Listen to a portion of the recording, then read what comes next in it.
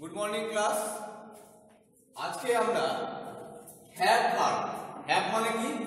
Have মানে আছে। এই ক্রিয়াপদটার বর্তমান কালে কীরকম ভাবে আমরা লিখতে পারি সেটা আমরা দেখব। তা সোজা সাপটা কিছু উদাহরণ দেওয়া যেতে পারে, কীরকম হতে পারে? যে আমার আছে, তার আছে, ছেলেটির আছে, ছেলেগুলির আছে। তো এরকম ভাবে আমরা হ্যাভ ভার্বের ব্যবহার সাধারণত করে থাকি। আছে বলে তাহলে বর্তমানকালে আমরা সেটা ব্যবহার করছি। তাহলে আবার আমরা দেখে নাও আমাদের লেখাটা কীভাবে লেখা আছে। একটা হচ্ছে সিঙ্গুলার একটা হচ্ছে প্লুরাল এক বচন, বহু বচন। এবার এই এক, দুই, দুটো দিন কেন? এই এক মানে হচ্ছে এইটা হচ্ছে যে ফার্স্ট পার্সন অর্থাৎ উত্তম পুরুষ। দু নম্বর করা আছে মানে কি? এটা সেকেন্ড পার্সন অর্থাৎ মধ্যম পুরুষ। আর দুটো তিন করা আছে মানে কি? দুটো মানে মোট চারটে দেখানো হয়েছে এখানে প্রথম পুরুষের উদাহরণ। আশা করি তোমরা সকলে বুঝতে পারছ জিনিসটা কি? এবার দেখে নাও।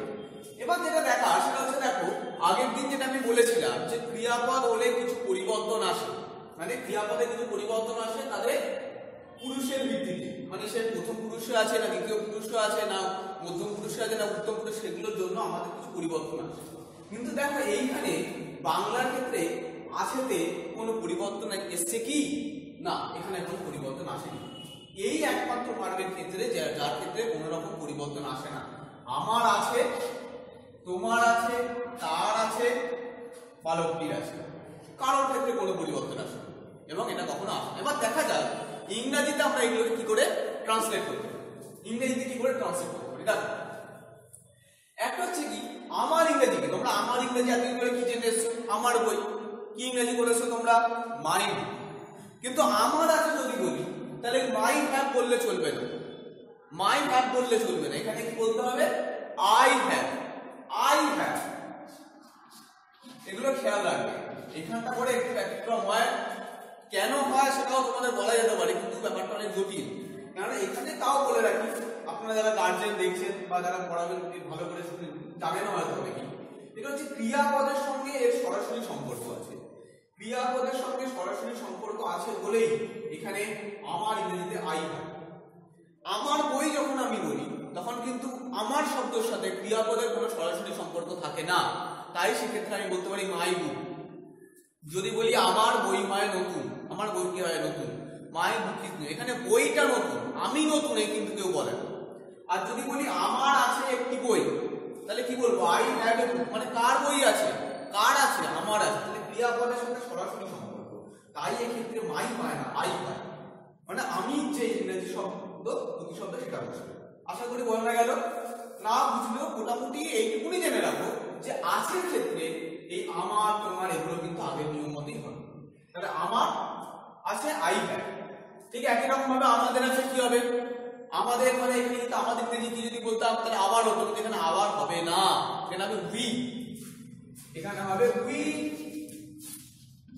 হ্যাঁ। উই হ্যাভ ঠিক একই রকম ভাবে তোমার আছে ইওর হবে না, হবে ইউ ইউ হ্যাভ একই রকম ভাবে তোমাদের আছে, পাল্টাবে না, একই থাকবে। এবার তাদের আছে কি হবে? তাদের। তাদের বলতে কিন্তু দেয়ার হবে না। এখানে কি হবে? They have they have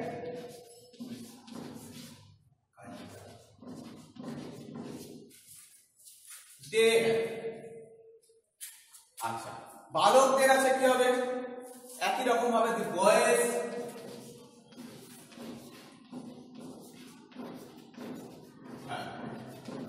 এবার মনে প্রশ্ন আসতেই পারে যে আমি কেন এদিকটাই করে যাচ্ছি এদিকে তো এত পড়ে আছে এদিকটা করলাম না কেন?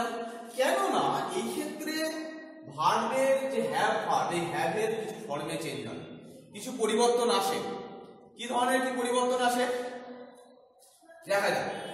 এইটা তো নিশ্চয়ই বুঝতে পারছ যে এইটা হচ্ছে থার্ড পার্সন অর্থাৎ প্রথম পুরুষ, অর্থাৎ আমি, তুমি বাদ দিয়ে একজনের কথা বলা হয়েছে। এবং এটা সিঙ্গুলার নাম্বার মানে একজন এবং থার্ড পার্সন এই ক্ষেত্রে হ্যাভ হয় না, এই ক্ষেত্রে হয় হ্যাজ এই ক্ষেত্রে হয় হ্যাজ হ্যাভ বসবে না। তাহলে এখানে তার হবে কি? হি হতে পারে অথবা সি হতে পারে। আমি সি লিখতে পারি। বা হিও লিখতে পারি। সি হ্যাজ অথবা ই হ্যাজ বালকটির আছে, একই রকম ভাবে হবে। দি boy has the boy has বোঝানো গেছে আশা করি? তাহলে দেখো, পরিষ্কার ভাবে, পরিষ্কার একটা জিনিস খুব পরিষ্কার যে সব জায়গাতে আমার হ্যাপ বসছে। সব জায়গায় যদি একের বেশি হয় হ্যাঁ বসবেই বসবে। যদি একজন বোঝায়, তাহলে থার্ড পার্সন সিঙ্গুলার নাম্বার অর্থাৎ অর্থাৎ এখানে যদি আমার, আমি তুমি বাদ দিয়ে যে কোনো একজন বোঝায়, সেই ক্ষেত্রে বসবে হ্যাঁ বাকি সব ক্ষেত্রে হ্যাঁ বসবে। বোঝা গেছে আশা করি? এবার আমরা কয়েকটা ছোট ছোট বাক্য তৈরির মাধ্যমে এই জিনিসটাকে বোঝার চেষ্টা করব। আচ্ছা বোর্ডটা মুছে দিই। বোর্ডটা মুছে দিয়ে আশা করি প্রত্যেকে বুঝেছ? এবার আমরা কয়েকটা ছোট ছোট বাক্য তৈরি করব, এবং সেই বাক্য তৈরি করার মাঝে জিনিসটা বোঝার চেষ্টা করব। কীরকম ভাবে বাক্য তৈরি করতে পারি যেমন আমরা বলতে পারি। যে আমার আছে একটি কলম। লিখি সেটা। সেটা আমি লিখি যে আমার আছে একটি কলম।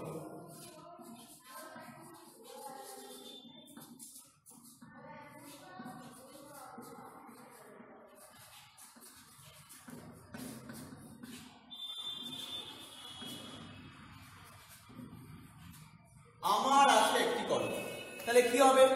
কার আছে তোমরা প্রশ্ন করবে, কার আছে আমার আছে তাহলে কি হবে? আই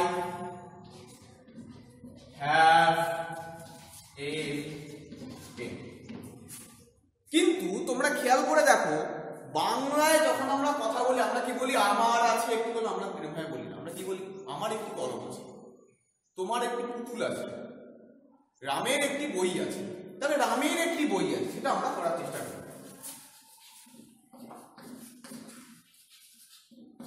রামের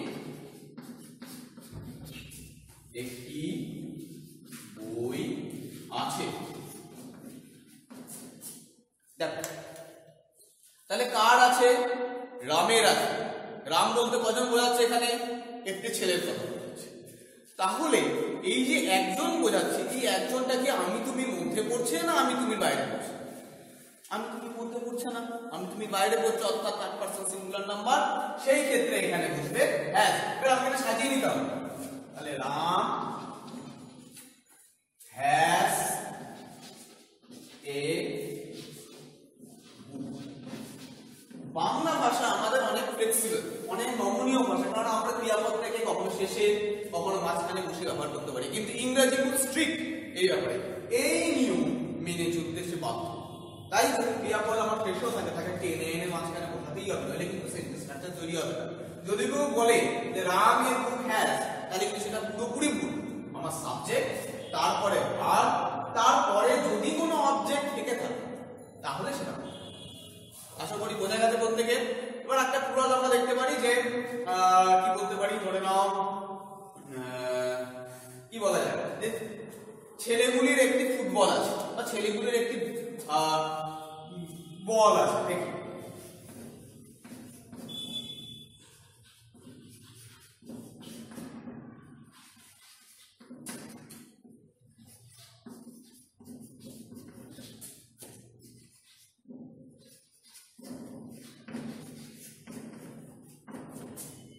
ছেলেগুলির একটি পড়া ছেলেগুলি একের বেশি করে আমাদের কোনো চিন্তা ভাবনা করার দরকার নেই।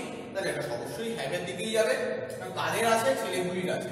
তাহলে ছেলেগুলির বয়েজ